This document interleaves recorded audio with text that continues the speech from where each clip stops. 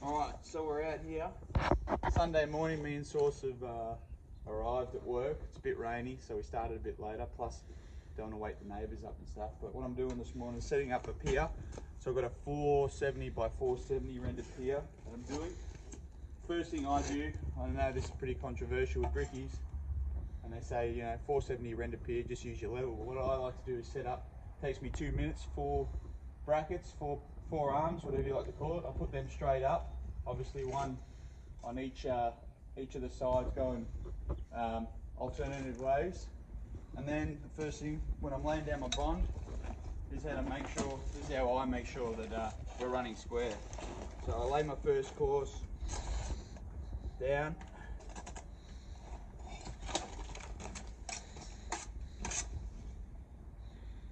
So we got a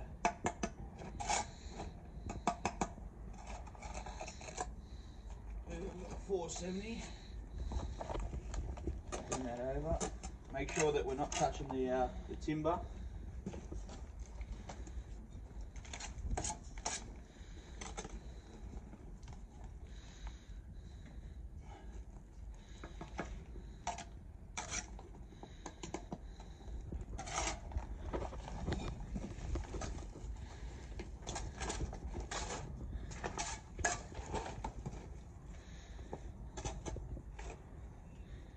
Alright, so two bricks by two bricks.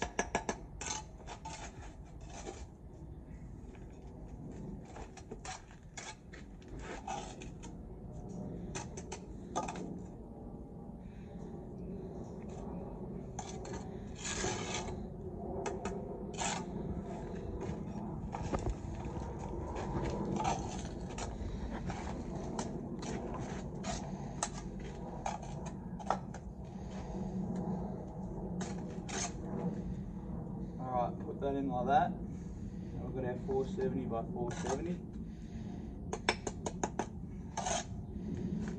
Run a level.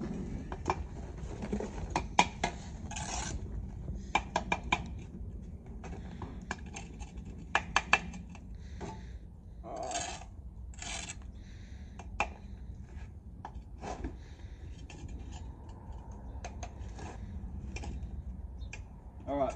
Alright, our 470 by 470 down. Now, how do we know it's square to the house? That's what I do. Without the tape. We already know that this is uh, square off the frame because we come 150, 150.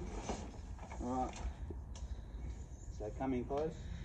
Measure off this wall here. Come in close. What do we have there? 1400. All right. Check the other side.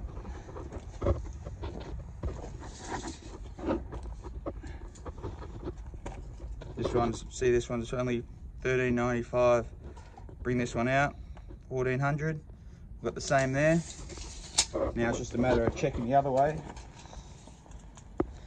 We've got 470. Check it back. We've got 470 there. All right, then we just use the, the level, square them off. So that's how I do mine. And what I'll do, what I'll do is after I build up a couple of bricks, a couple of courses, I'll probably do like four, three or four courses. I'll just set a couple of profiles up. I just find it's easier that way we know everything's running square. So um, I'll set a couple of profiles, perp clamp them in, just gauge up, and then we've got our square, our square pier ready to go. So I'll do that now. I'll lay a couple more courses.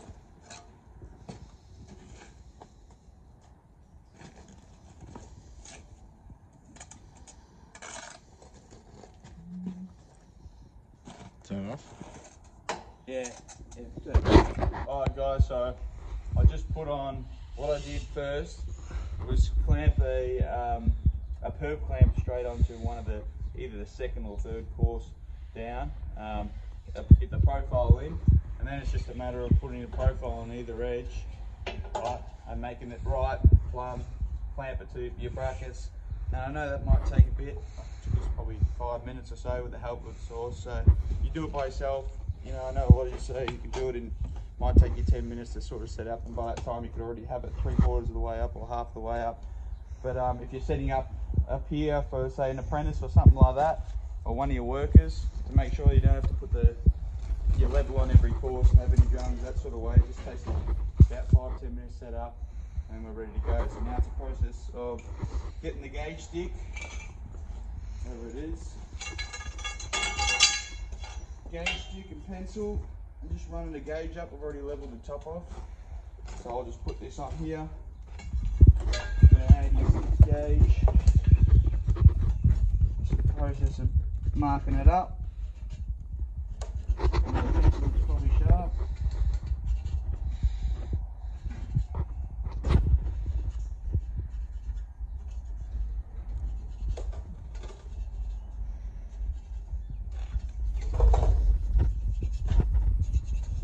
Hey, you can put a line on if you want. We'll probably put a line on just for the sake of it. May as well do the whole setup.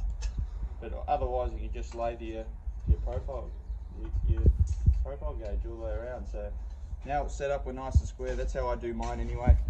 Um, yeah. Got a BT arms, BT um, perp clamps, and we're using these long-sided doors, the ones I always use on the side. So it's just a matter of pushing your brick up hard up against. You know, I don't get paid anything for BT to do to say this, but they do have the best tools. So they got really good setup, making sure everything's square and it's nice and easy. It's just laying to the profiles now. So that's the setup, guys. Me and Sauce are going to get some bricks in.